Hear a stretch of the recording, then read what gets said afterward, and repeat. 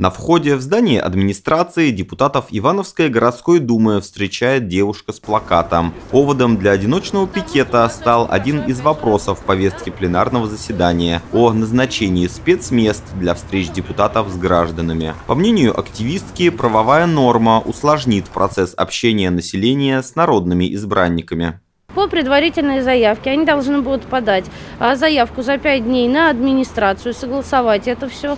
А, то есть им а, после согласования будет предоставлено либо не предоставлено место. Если оно занято, да, определенные места будут, это муниципальные, которые только у нас городские. Девушка убеждена, что происходящее – очередная попытка партии власти усложнить жизнь остальным депутатам. Ситуация, по ее мнению, напоминает митинги оппозиции, место для которых в Иванове на Красной Талке. Так и депутатам администрация в перспективе запретит встречаться с электоратом в свободном формате. Если у нас депутатам будут запрещать встречаться с народом, зачем нам депутаты нужны? То есть давайте просто будет верховодить у нас, э, так скажем, одна сплошная э, администрация. То есть если у нас депутаты идут под администрацией, да, а не народа. То есть у нас депутат слуга народа, а не слуга администрации. И согласований здесь априори никаких не должно быть. Несмотря на пикет, городская дума приняла проект решения. Пояснили, что это требование федерального законодательства – сформировать гарантированный перечень помещений для работы депутатов. Естественно, парламентарии никаких ущемлений прав граждан в новых правилах не видят.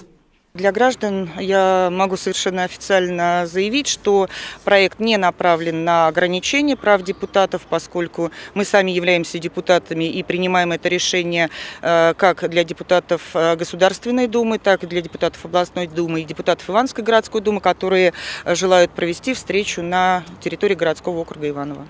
Зампред городской думы пояснила, что никто не запрещает депутатам встречаться с населением там, где хочется. Это могут быть дворовые территории или помещения. Уведомлять при этом администрацию не нужно. Речь идет о предоставлении помещений, находящихся в муниципальной собственности. Этим решением предусмотрено, что администрация города Иваново должна установить этот перечень помещений. Э, исходя из этого перечня, любой депутат может воспользоваться э, помещением для того, чтобы провести встречу с избирателями и отчитаться о своей деятельности. Представить себе ситуацию, в которой депутату не позволяют встретиться с народом, довольно сложно. История, когда до избранника не достучаться, пожалуй, гораздо реалистичнее.